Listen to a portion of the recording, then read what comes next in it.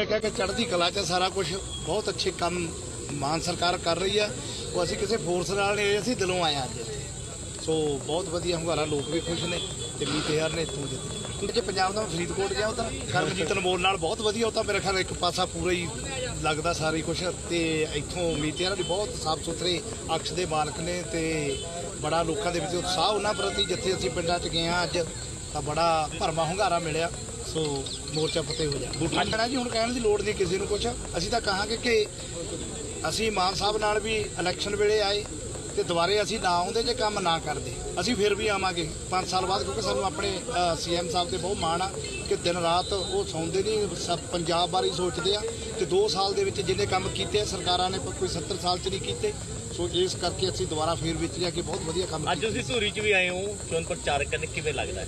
ਬਹੁਤ ਵਧੀਆ ਲੱਗਦਾ ਜੀ ਧੂਰੀ ਮੇਰਾ ਮੈਂ ਵੀ ਕੋਈ ਦਾ ਸਾਡਾ ਨਹੀਂ ਮੈਂ। ਨਾਭੇ ਤੋਂ ਆ ਤੇ ਧੂਰੀ ਮੈਂ ਆਉਣਾ ਜਾਣਾ ਬਣਿਆ ਰਹਿੰਦਾ।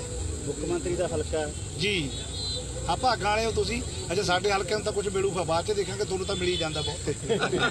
ਠੀਕ ਹੈ ਠੀਕ ਹੈ ਉਹ ਮੈਂ ਜਦੋਂ ਜ਼ਿਆਦਾ ਗਿਣਦੇ ਹੁੰਦੇ ਵੀ ਕਿੰਨੇ ਕਰੋੜ ਦੇਣਾ ਮੈਂ ਕਿੱਥੇ ਜਾ ਜਾ ਕਹਿੰਦੇ ਧੂਰੀ ਨੂੰ। ਵਾਹਿਗੁਰੂ ਵਾਹਿਗੁਰੂ। ਸੋ ਕੋਈ ਨਹੀਂ ਸਾਰਿਆਂ ਨੂੰ ਭਰਾਵਾਂ ਨੂੰ ਸਪੋਰਟ ਕਰੋ ਦੱਬ ਕੇ ਮੀਤ ਇਹਨਾਂ ਦੀ।